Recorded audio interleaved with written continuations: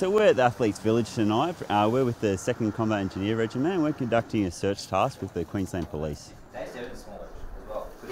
The search and lockdown procedure at the uh, Commonwealth Games Village is uh, critical.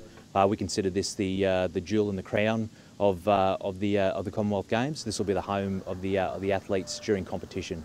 We're searching for anything that could be considered a suspicious item, and so we're using highly skilled searchers as well as explosive detection dogs alongside our counterparts in the Queensland Police.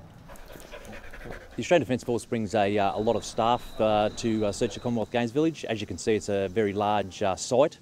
Uh, without their support, uh, the QPS would not have been able to complete the search in time with the resources that we currently have.